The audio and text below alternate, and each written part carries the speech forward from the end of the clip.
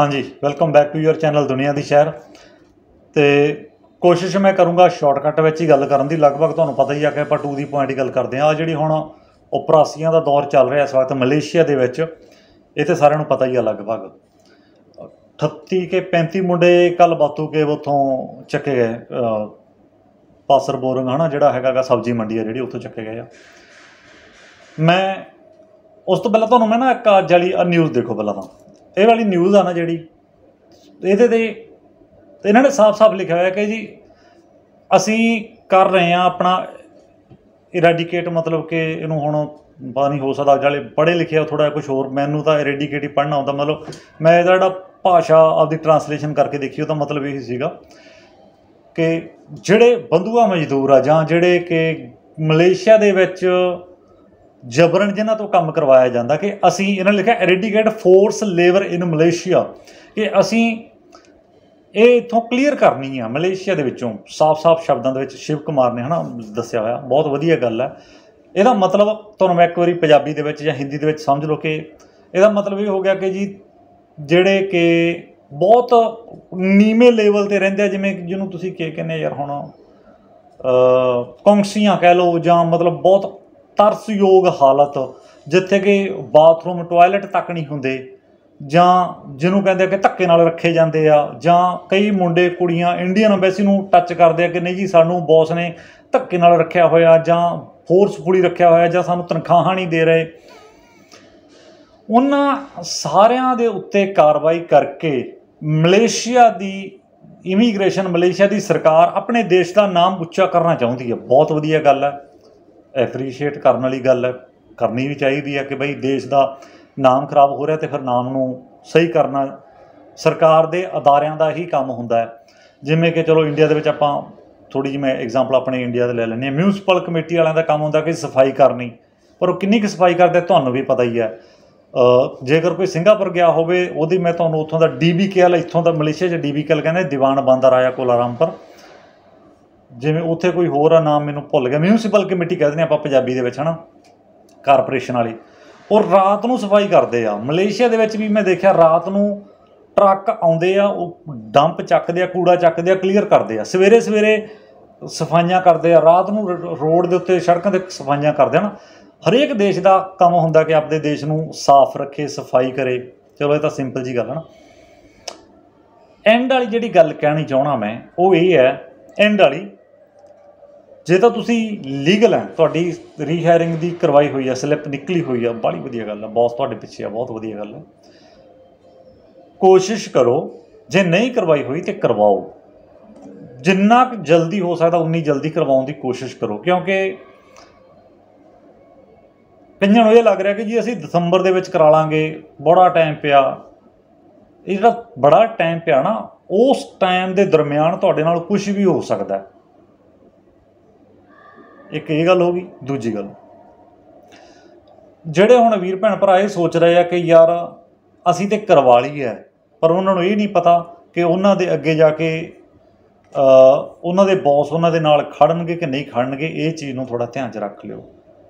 ਕਈ ਮੁੰਡੇ ਕੁੜੀਆਂ ਦੇ ਬੌਸ ਇਹ ਕਹਿੰਦੇ ਆ, ਜਦੋਂ ਮੁੰਡੇ ਜਾਂ ਕੁੜੀ ਨੇ ਕਿਸੇ ਇੱਕ ਕੰਪਨੀ ਤੋਂ ਦੂਜੀ ਕੰਪਨੀ ਦੇ ਵਿੱਚ ਮਾਜਿਕਨ ਤੁੱਕਾ ਕਰਨਾ ਹੁੰਦਾ ਉਦੋਂ ਇਹ ਕਹਿੰਦੇ ਆ, ਮੈਂ ਇਸ ਖਬਰ ਤੇ ਵੀ ਆਨਾ, ਪਹਿਲਾਂ ਤੁਹਾਨੂੰ ਮਾੜੀ ਜੀ ਦੋ ਚਾਰ ਗੱਲਾਂ ਐਗਜ਼ਾਮਪਲਾਂ ਦੱਸ ਦਿੰਦਾ ਓਕੇ ਜਦੋਂ ਤੁਸੀਂ ਇੱਕ ਕੰਪਨੀ ਤੋਂ ਦੂਜੀ ਕੰਪਨੀ ਦੇ ਵਿੱਚ ਆਪਣੀ ਕੰਪਨੀ ਤੁੱਕਾ ਕਰਨੀ ਹੁੰਦੀ ਹੈ ਕੰਪਨੀ ਚੇਂਜ ਕਰਨੀ ਹੁੰਦੀ ਹੈ ਮਾਜਿਕਨ ਚੇਂਜ ਕਰਨਾ ਹੁੰਦਾ, ਉਦੋਂ ਤੁਸੀਂ ਬੌਸ ਨੂੰ ਕਹਿੰਦੇ ਜੀ, ਸਾਡਾ ਕੈਨਸਲ ਕਰ ਦਿਓ।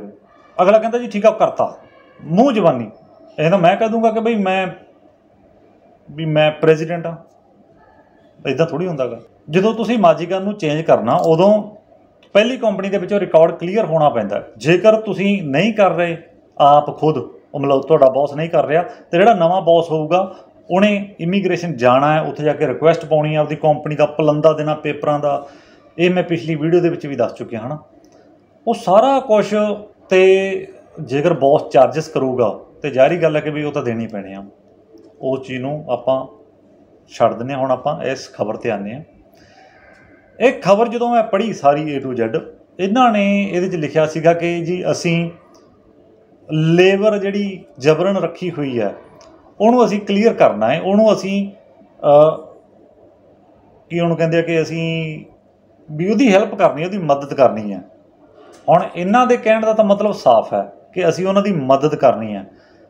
ਪਰ ਜਿਹੜੀ ਅੰਦਰ ਖਾਤੇ ਵਾਲੀ ਗੱਲ ਇਹ ਹੈਗੀ ਹੈ ਕਿ ਜੀ ਹੁਣ ਇਸ ਵਕਤ ਇਹਨਾਂ ਦੇ ਕਹਿਣ ਦੇ ਮੁਤਾਬਕ ਉਸ ਗੱਲ ਨੂੰ ਬਹੁਤ ਡੂੰਘਾਈ ਤੱਕ ਦੇਖੀਏ ਤਾਂ ਉਪਰਾਸੀਆਂ ਹੋਣਗੀਆਂ। ਕਿਤੇ ਵੀ ਹੋ ਸਕਦੀਆਂ।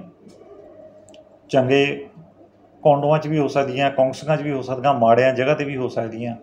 ਇਹ ਤਾਂ ਕਾਮਨ ਜੀ ਗੱਲ ਹੈ ਕਿ ਜੇਕਰ ਅਸੀਂ ਕਿਸੇ ਵੀ ਦੇਸ਼ ਵਿੱਚ ਰਹਿੰਦੇ ਹਾਂ, ਸਾਨੂੰ ਉਸ ਦੇਸ਼ ਦੇ ਲਾਅ ਦੀ ਮਤਲਬ ਪਾਲਣਾ ਕਰਨੀ ਪੈਣੀ ਹੈ ਤੇ ਸਿੰਪਲ ਜੀ ਗੱਲ ਇਹਦੇ ਵਿੱਚ ਤਾਂ ਨਹੀਂ ਹੈਗੀ, ਕੋਈ ਦੋ ਰਾਏ ਨਹੀਂ ਹੈਗੀ।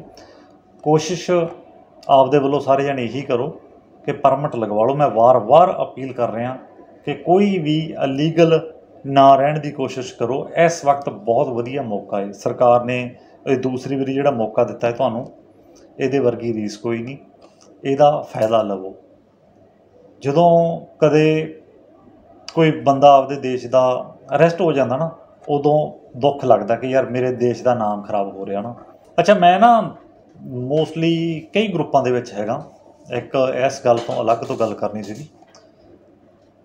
ਕਈ ਗਰੁੱਪਾਂ ਦੇ ਵਿੱਚ ਮੈਂ ਐਡ ਆ ਤੇ ਮੇਰੀ ਟੀਮ ਵੀ ਗਰੁੱਪਾਂ ਦੇ ਵਿੱਚ ਹੁੰਦੀ ਆ, ਉਹ ਦੇਖਦੀ ਰਹਿੰਦੀ ਆ ਕਿ ਯਾਰ ਅੱਜ ਕੀ ਮਾਰਕੀਟ ਵਿੱਚ ਹੋ ਰਿਹਾ ਕੀ ਮਾਰਕੀਟ ਵਿੱਚ ਹੋ ਰਿਹਾ। ਬੜੀ ਇੰਟਰਸਟਿੰਗ ਗੱਲਾਂ ਮਿਲਦੀਆਂ ਹੈ ਇਹ ਹੋ ਸਕਦਾ ਮੈਂ ਕਈ ਵਾਰੀ ਗੱਲ ਨੂੰ ਅੱਗੇ ਵੀ ਆਉਣ ਵਾਲੇ ਦਿਨਾਂ ਦੇ ਵਿੱਚ ਰਿਪੀਟ ਕਰਾਂ। ਮੁੰਡਿਆਂ ਨੂੰ ਕੰਮ ਤੇ ਲਵਾਉਣ ਦੀ ਖਾਤਰ ਗਰੁੱਪਾਂ ਦੇ ਵਿੱਚ ਮੈਸੇਜ ਪਾਏ ਜਾਂਦੇ ਆ। ਮੁੰਡੇ ਜਾਂ ਤੇ ਪਹੁੰਚਦੇ ਨਹੀਂ ਜੇ ਪਹੁੰਚ ਜਾਂਦੇ ਆ ਤੇ ਫਿਰ ਉੱਥੇ ਕੰਮ ਨਹੀਂ ਕਰਦੇ। ਮਤਲਬ ਕਿ ਬੇਫਾਲਤੂ ਦੇ ਵਿੱਚ ਉੱਥੇ ਜਾ ਕੇ ਆਪਣਾ ਟਾਈਮ ਵੇਸਟ ਕਰਦੇ ਨਾਲੇ ਅਗਲੇ ਬੰਦੇ ਦੀ ਬੇਇੱਜ਼ਤੀ ਕਰਾਉਂਦੇ ਜਿਹੜਾ ਬੰਦਾ ਕੰਮ ਤੇ ਲੱਗਿਆ ਹੁੰਦਾ ਨਾ। ਟਰਾਈ ਕਰੋ ਕਿ ਜਦੋਂ ਤੁਸੀਂ ਗਰੁੱਪ ਦੇ ਵਿੱਚ ਕੋਈ ਐਡਵਰਟਾਈਜ਼ਮੈਂਟ ਦੇਖਦੇ ਆ ਕੰਮ ਦੀ,